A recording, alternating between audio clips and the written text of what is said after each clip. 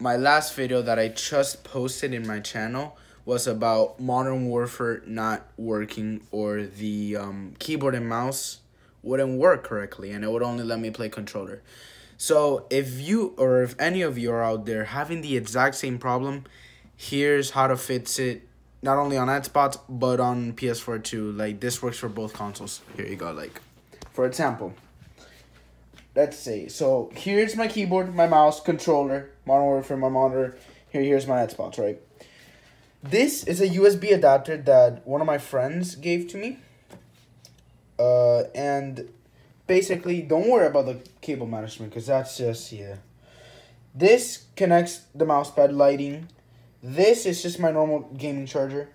This is my Xbox. Alright, alright. This is my keyboard and the mouse. Mouse and the keyboard. I had it both connected right here, this connected over here. Wrong mistake. Apparently, the adapter doesn't give it enough force that in the game, sometimes it doesn't read it.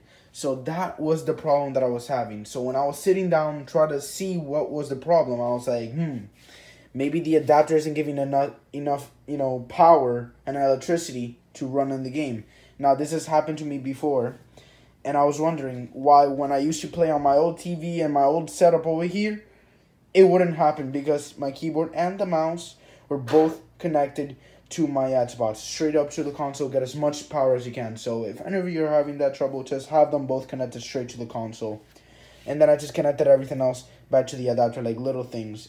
And I just got the um the whole setup.